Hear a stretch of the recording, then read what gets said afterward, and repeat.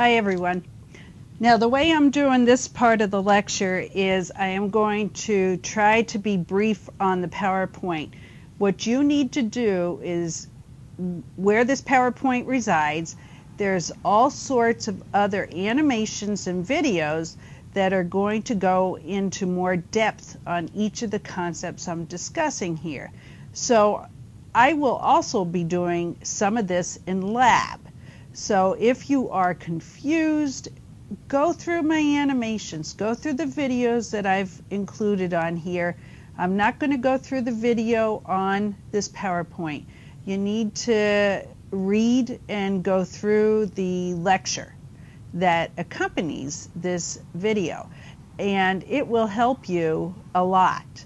I've done some on my own and some came from YouTube but they are excellent and will walk you through some problems and some samples that you can do.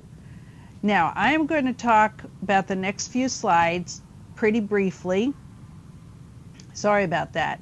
And the first thing that we're going to talk about is a test cross. Now, a test cross is on page 152 of your textbook, and it is actually going backwards uh, it's a cross trying to figure out what the parent is.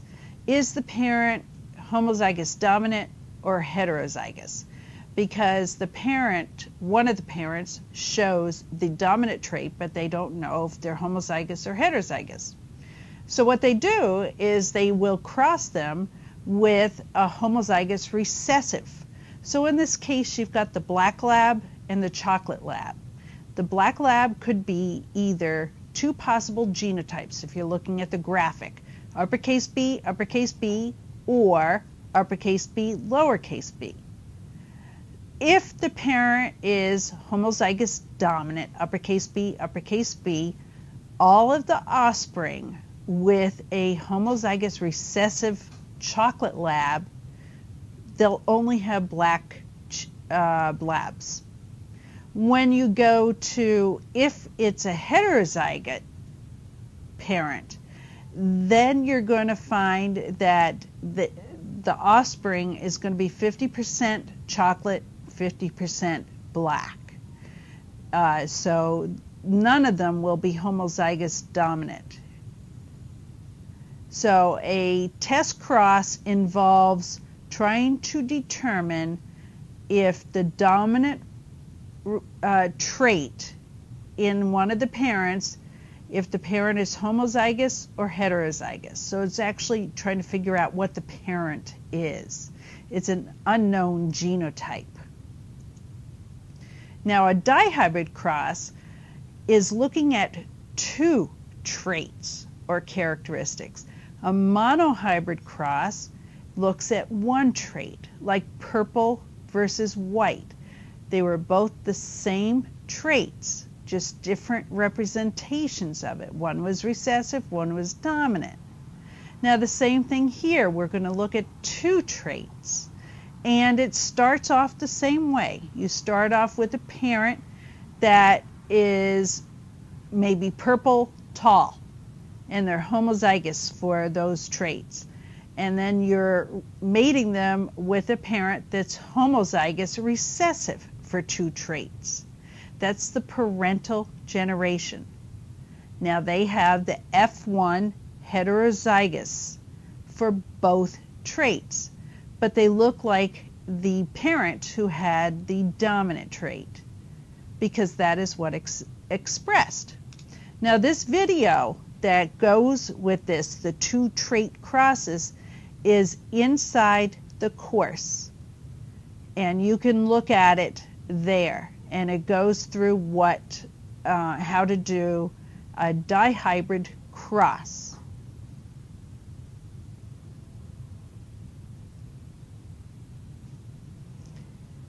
Now, incomplete dominance. That is another type of cross that you're going to see. And what basically is happening here is red is a, um, the only way you can express a red flower is by having two uppercase R genes. If it's a white snapdragon, then it's got two lowercase genes. What happens with the F1 generation is now you have pink. The red is no longer fully expressed. The uppercase R needs to have two of the same. It must be homozygous to express the red phenotype. The red allele is uh, a wild allele in the fact that the only way it fully expresses red is by having two copies of that gene. If there is only one copy of the R gene, that R cannot express itself the same way. It's sort of like a weakened R. So it, the only way you can express red in incomplete dominant is to have the two uppercase R's. Now there's also a video on this inside the course and a lot of other information if you don't understand. Recessive disorders. Now, if a parent, and we're looking at humans here, most genetic disorders are recessive. There are several dominant disorders, and I have a slide that shows it. But here we're looking at hearing. And the parents are heterozygous for the trait. In other words, they're carriers of the disorder, but they don't have it. And what happens is that each parent is going to produce one uppercase letter and one lowercase when it makes its gametes. They split apart, and the gametes are you you can have a lowercase trait. But the only way it's going to be expressed is if the child got the lowercase letter from both parents. And in this case, if you do the Punnett square, you can see that there are three possible outcomes. Uppercase D, uppercase D, they don't, they're not carriers. Two are carriers, but are not hearing impaired. And then the one out of four that would be deaf because they have both of the recessive genes. Sickle cell disease is another genetic disorder, and we've looked at it a little bit in the past, but it has to do with uh, one amino acid not being coded correctly for. So the hemoglobin is not made correctly, and in turn, it causes the red blood cells to become like a shape of a C inside the hemoglobin is deformed. So here is how it happens genetically. If an individual is homozygous for the sickle cell allele, they produce sickle cell hemoglobin. The abnormal hemoglobin crystallizes into long flexible chains and it causes the sickle cells to be uh, sticky. They get stuck in uh, the blood vessels. So they have to be homozygous for a sickle cell. It's the same as the slide we looked at before for the deaf.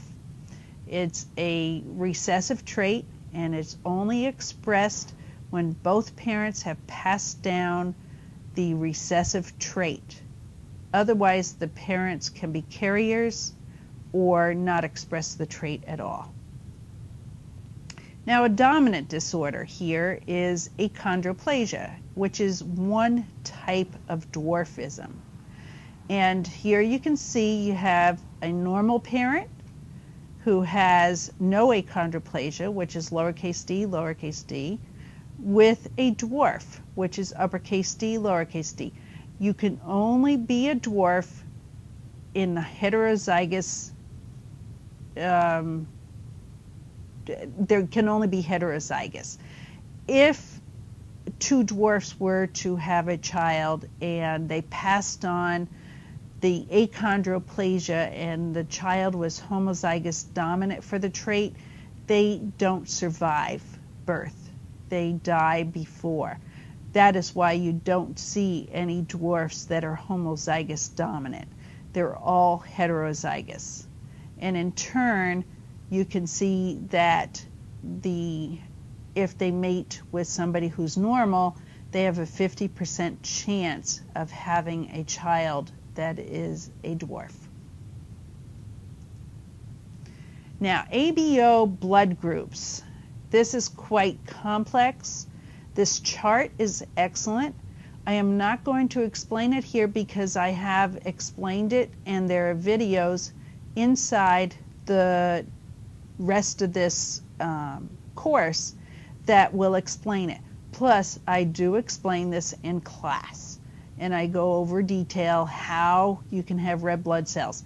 But if you want to listen to the videos, well, you should, uh, and you will see how the four blood types and how they're dominant and recessive and actually codominant, which is just another expression or type of expression of a phenotype.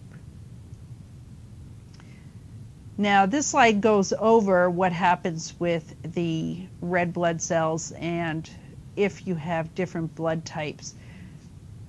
If I were in class with you, I'd go through this, and I will. I'm not doing it on this PowerPoint because it I could go into this for 20 minutes and the PowerPoint would be excessively long. But there is a lot of information in your lecture, and I will be going over this in lab. Now, this is looking at the X and the Y chromosome. The, it's important to point out here that the Y chromosome in the male is much smaller than the X chromosome. And because of that, there are disorders that are sex linked disorders that only males will have. And that's because they don't have a matching chromosome or allele on the Y chromosome. It doesn't have all of the same alleles that are on the X chromosome. So here, we're just looking at X and Y. Females are XX, males are XY. Now, there, one of the sex-linked disorders is color blindness. More males are colorblind, and it's because the gene is found on the X chromosome and there's no match on the Y chromosome.